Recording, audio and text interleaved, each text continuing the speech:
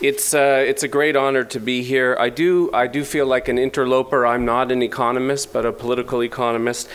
I spend most of my time not in the realm of big theoretical ideas, but running a, uh, a 15 person policy research institute within a single geographically large but population small jurisdiction. I run the British Columbia office of the Canadian Centre for Policy Alternatives.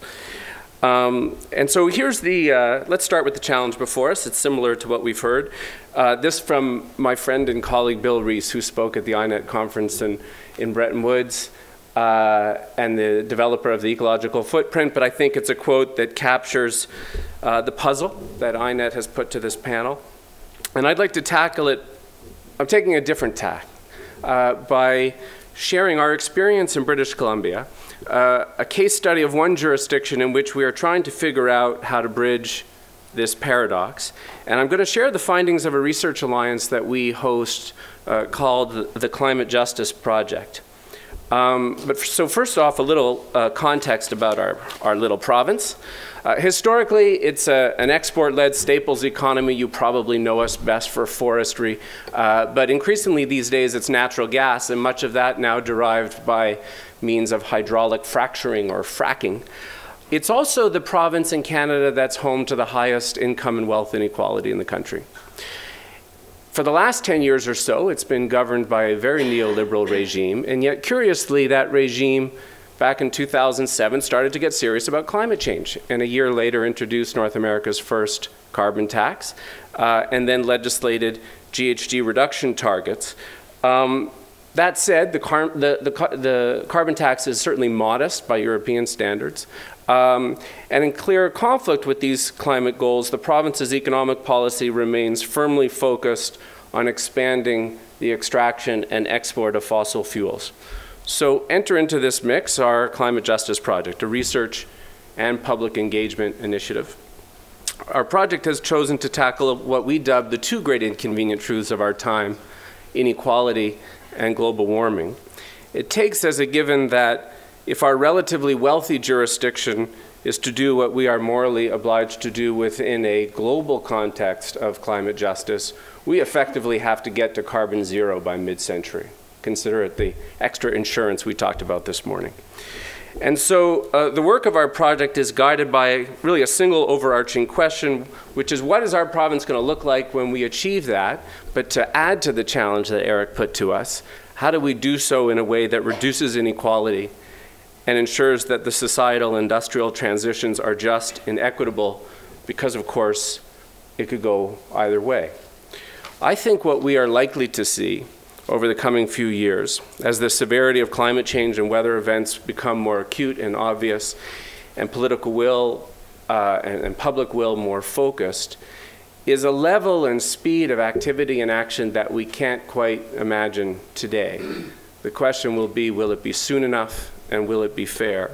And my objective here is to outline some of what our project has learned regarding the sources of resistance to transformative change and some of the strategies that we are pursuing to overcome these barriers.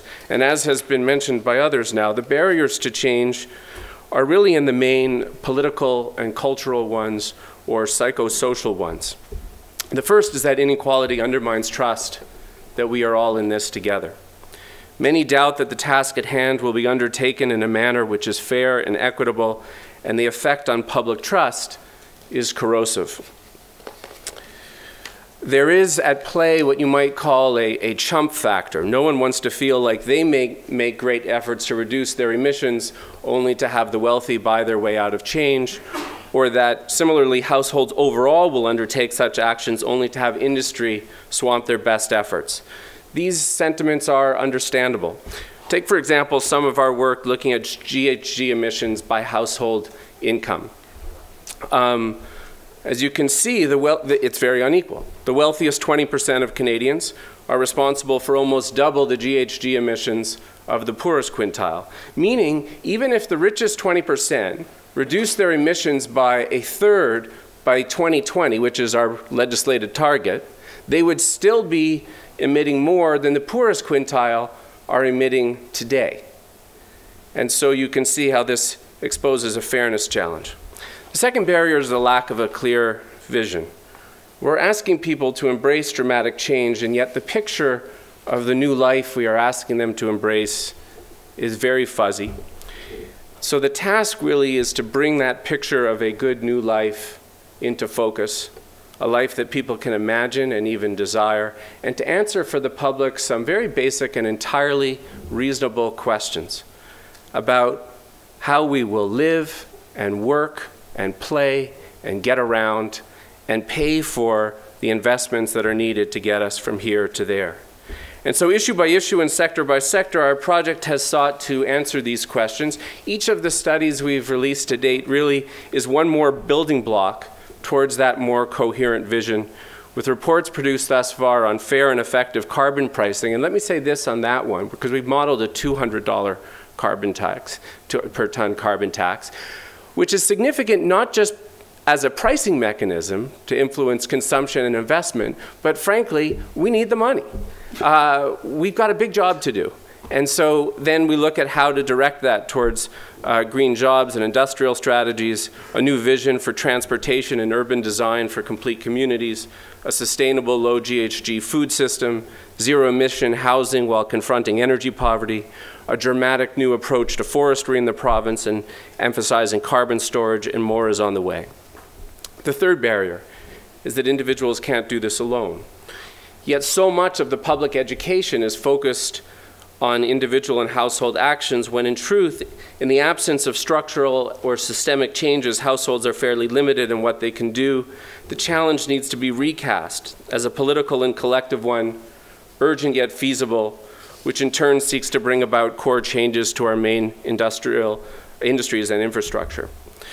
The fourth barrier is an economic and political system that is captive to the oil and gas industry. In Canada, the federal government is actively advancing the interests of the oil sands, notwithstanding what this carbon bomb means for climate change. And the dilemma, I think, is this. We need to manage the oil and gas sector for wind down in preparation for the time a few decades from now when we are done with these industries. And yet, being managed and wind down are anathema to the profit seeking sector in general and to this industry in the extreme. The alternative, perhaps, is to break with the presumption that only the private sector can undertake this work. So here is an idea beyond pricing or regulation. In BC, in our province, we're wrestling with this deep contradiction, which is that on the one hand, we tout natural gas as this clean green transition fuel, and on the other, the sector is burgeoning like the Wild West, increasingly derived by means of shale gas fracking with GHG emissions equivalent to coal. And ironically, much of that gas is destined for the Alberta tar sands. Moreover, and this builds on Ottmar's point this morning, because for, for us, much of this comes down to not what we're emitting domestically, but our exports. If BC if all of the gas that BC purportedly has in untapped reserves were actually burned, the impact on the global carbon budget would be, I would put it to immoral. And here you see in this chart, the gas that we sit on, if burned, would be equivalent to almost two years of global emissions.